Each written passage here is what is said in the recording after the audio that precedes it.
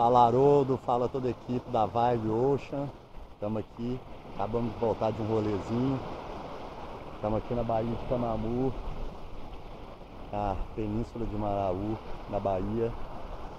E a gente está gravando esse vídeo para agradecer o Haroldo, toda a equipe aí da Vibe, né, por todo o cuidado que eles tiveram para fazer a canoa, todo o carinho para mandar, desde o começo que a gente começou a conversar até a hora que entregou, maior cuidado, maior preocupação com tudo, com todos os detalhes. Canoa toda gostosa de remar, toda justinha, toda estável, rápida.